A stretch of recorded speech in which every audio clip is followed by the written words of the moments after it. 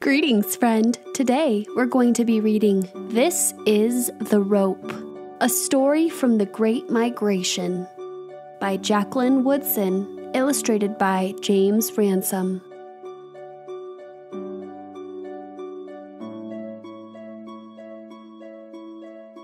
This book is dedicated to the more than 6 million African Americans who left the unjust conditions of the South for a better life in the North from the early 1900s until the 1970s. My mother and grandmother were among them. I thank you all for your courage and for making a way out of no way.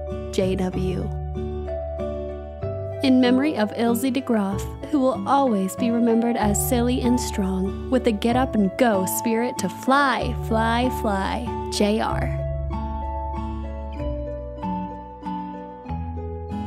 This is the rope my grandmother found beneath an old tree a long time ago back home in South Carolina. This is the rope my grandmother skipped under the shade of a sweet smelling pine. This is the rope my grandfather used to tie the few things they owned to the top of a car that drove my grandmother, who was a mother now, from South Carolina all the long way to a place called New York City.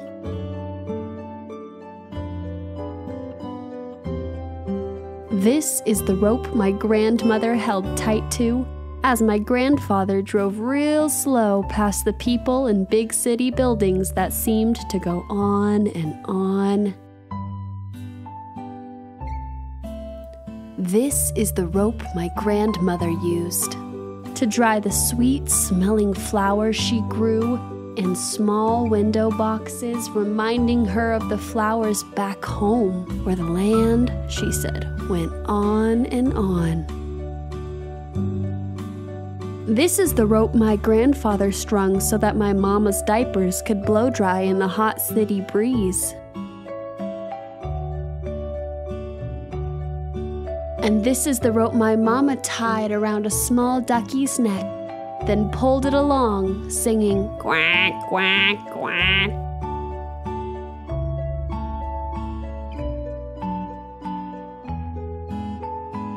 This is the rope my mama held out to the girls on the block. Her new Brooklyn block, a home of their own that they finally owned. Mama asked shyly, Anybody want to play?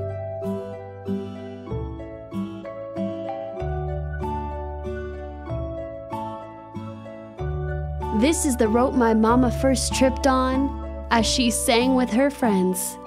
Miss Lucy had a baby, she named him Tiny Tim.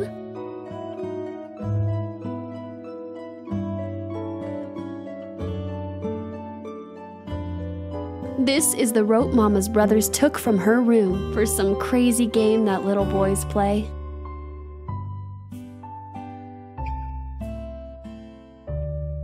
This is the rope my mama found again 10 years later when my grandfather said, We need a bit of rope to tie these things down inside this here car, like that rope we used to have from back home. Then he drove with my mama off to a college far away from the city, while up at the window my grandmother waved.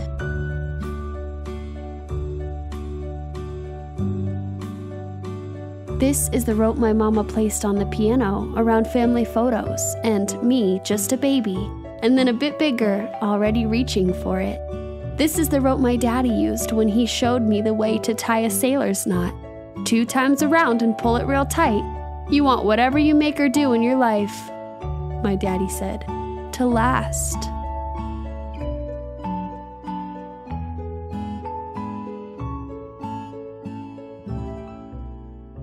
This is the rope my mama turned as she waved to my daddy and taught me to sing the Miss Lucy song out on our sidewalk right here in Brooklyn, just last Friday night.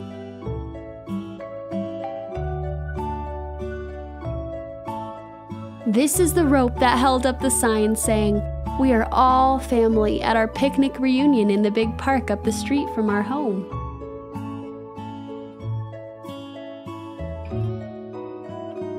This is the rope threadbare and graying that I traded with Grandma for a brand new one. Then I jumped a new jump.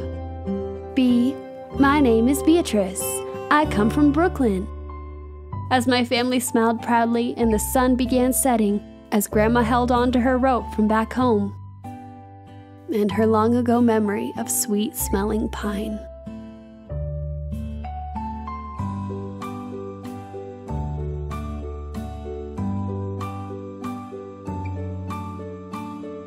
The end.